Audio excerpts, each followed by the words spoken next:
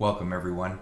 Dylan Gemelli here today with a brand new video for you. And today's topic is kind of controversial and I want to get into it and kind of give you the feelings that I have on this that I've kind of developed over time.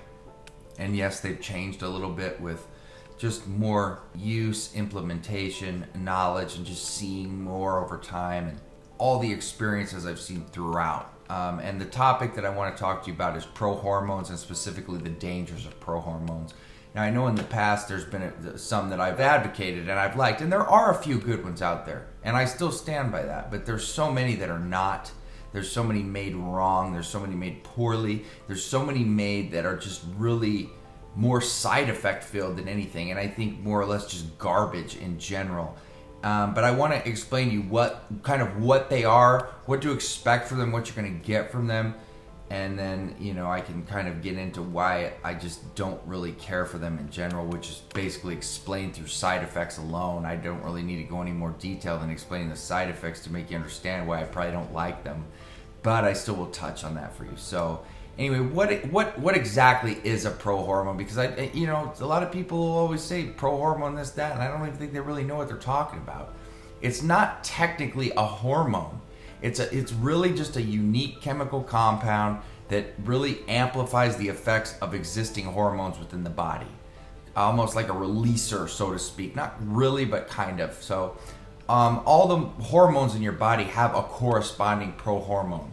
There's testosterone pro hormones, for example, which is probably the type of pro hormone you're looking for. You know, if you're if you're following along with this. So, our bodies produce pro hormones on their own naturally, including pro insulin.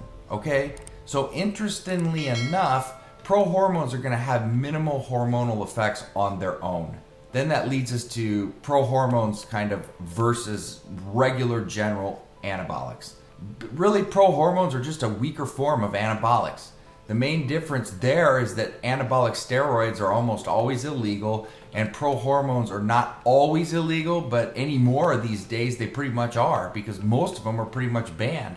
There's always companies trying to come out with something new, but they just keep getting worse, weaker, more side effect filled. It just it, it went from a market that was actually decent at one point in time to just being complete and utter garbage all of the, the regulatory groups across the world have really cracked down and banned a lot of pro hormone manufacturing. If you actually find one that you like, you better stock up on it because I don't like the the likelihood of being able to find them for a you know an extended period of time. Instead of giving yourself regular anabolics, the pro hormone line was created obviously for legality purposes and to give people other options besides injecting uh, anabolics and and an alternative to other you know oral steroids that you don't want to buy on the black market. So instead of actually in, injecting yourself with raw testosterone you're going to give your body that precursor uh, to testosterone and let it produce testosterone on its own. That's what a prohormone does. In 2004 is when uh, george bush actually signed the anabolic steroid control act and that made you know anabolics and prohormones illegal overnight. Then things loopholes are here, there, everywhere, but it actually started in 2004. Then the FDA regulation increased, and then the supplement manufacturers just kind of freaked out. When America bans a substance, then a lot of other countries will tend to follow suit. So Canada, Australia, New Zealand, all of them, they all started to crack down um, on pro hormones.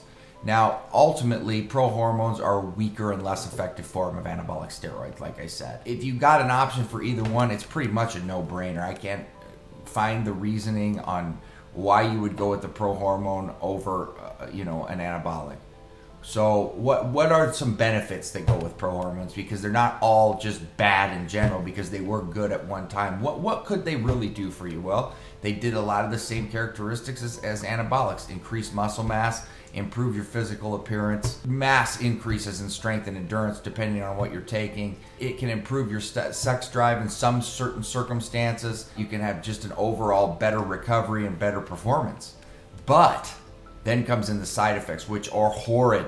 The toxicity alone on and um, pro hormones is horrible. I, I swear to you that the pro hormone toxicity is worse than regular oral steroids, which is already bad enough. It's going to range from anywhere from acne, hypertension, swollen prostate, liver damage, breast enlargement, hair loss, headache, dizziness, nausea. I mean, just terrible, like I said, terrible, terrible amounts of methylation and toxicity. Um, they are extremely hepatotoxic. You can only run them for on the upward of six weeks, uh, four to six weeks at the most, and you end up feeling terrible by the time you're done. I mean, just terrible, not wanting to get out of bed, headaches, lethargic. Um, that's all due to the strain on the liver, increases in blood pressure, problems with kidneys. You go take a, a blood panel after you run a, a cycle of pro hormones and, and see how it looks coming back, even with cycle support and then talk to me because it's not going to be good and it's not going to be anything that you like. You're going to need a full post cycle therapy with it. It's just like running a steroid in terms of suppression, it will shut you down. There's so many problems with them and it's just not worth it. I can't I can't place it to how it's worth it to run a pro hormone. There were a few, like I said, that were good, and you might still be able to find them, but they're few and far between. And even the ones that were good are still going to eat up your panels it's not the best idea. If you're going to do anything, just get a regular oral anabolic. It's really what would make sense. I would avoid pro hormones with, you know, with the exception of a few if you can still get them, like I said. But even then, the toxicity and everything, I'm not going to recommend them. Not now, not at this point in time. Not to what they've become uh, from where they came. Like I said, there's a few if you could find them, sure.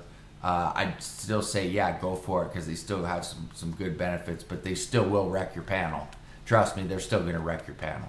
That, that's really pro hormones for you to give you that understanding. Like I said, I, personally, if you're asking me, I'd say no, just avoid them. There's no point. But um, that's that's always up to you to decide. I'm only here to guide and advise.